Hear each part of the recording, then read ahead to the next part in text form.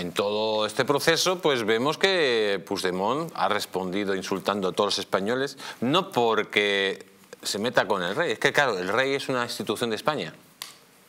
¿eh? Es un símbolo de España, como la bandera o como el himno nacional. Son los tres grandes símbolos que tenemos en este, este país. Por lo tanto, si se meten con el rey, se están metiendo con todos los españoles, sea usted monárquico o sea republicano. Pero ahora mismo es así. Pero ojo, que Puigdemont puede amargarle la investidura a Sánchez.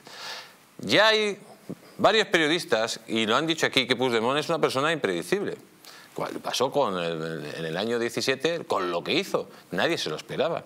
Pero ojo, que ahora va a someter a un referéndum y este sí que va a ser consultivo, no consultivo, va a ser un referéndum para decir si bloquean o no la investidura de Pedro Sánchez. Escuchen el siguiente vídeo.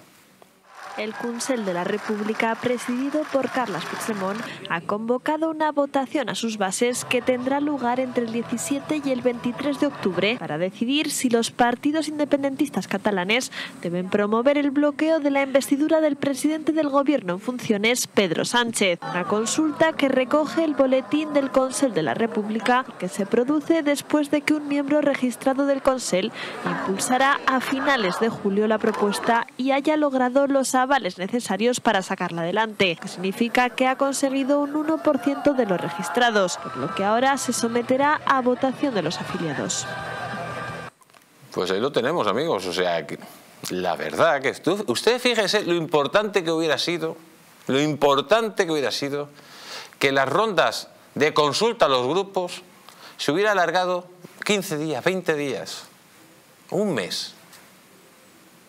Y luego pues ya Sánchez con los apoyos de toda esta basura, bueno, aunque yo no le hubiera dado, si yo fuera su majestad rey, no le hubiera dado la posibilidad, pero bueno, sigamos la partitura de la mayoría de los medios de comunicación.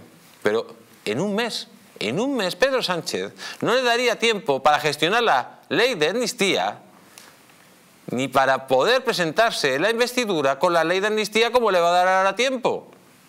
Pero a pesar de eso, a lo mejor el loco de Puigdemont directamente le dice que nanay. Claro, esto es gracioso.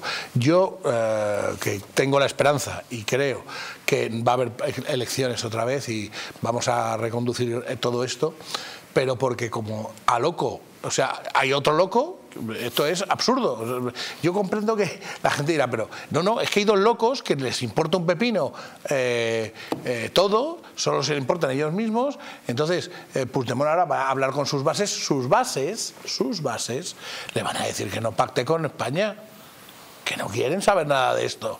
¿Y a ver qué va a hacer? Pues no. ¿Y entonces qué va a hacer Sánchez? Elecciones.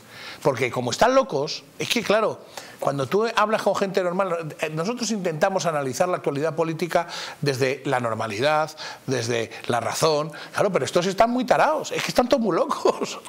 Sí, sí, claro, pero em, si, si le da la amnistía y le da el referéndum, ya es que prácticamente le, da todo el pastel. Es que no le puede dar el referéndum.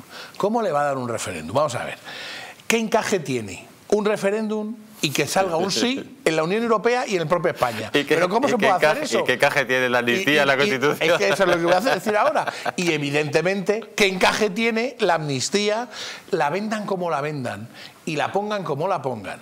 Aunque, aunque Conde Pumpido diga que se puede hacer, eh, ¿cómo la van a... que, ¿Amnistiamos a quién? ¿Al, ¿Al demócrata ladrón? Mm, ¿O qué pasa? Porque tú amnistías desde un punto en concreto. ¿Cuál es ese punto?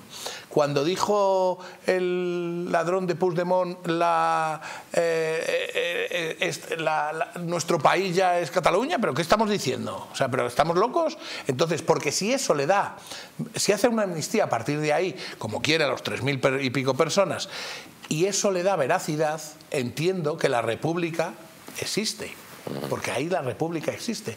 No cometieron un delito, las elecciones que hicieron fueron uh, legales. legales, por ende la, ganó el sí, por ende Cataluña es una república. Ahora, venga, ¿y ahora qué?